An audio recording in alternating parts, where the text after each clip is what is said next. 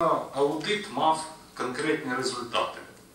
А саме, щодо кількості земельних ділянок, які використовуються із порушенням земельного законодавства. Е, Спершу я хотів би акцентувати увагу на тому, які це порушення. Це фактично три групи порушень.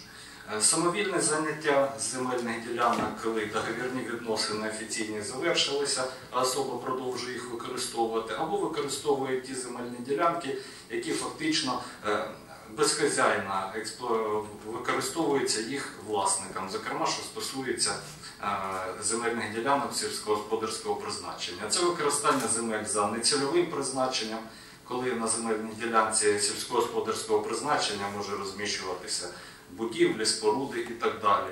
І, звичайно, це зняття родючого шару ґрунту без наявності відповідних спецдозволів.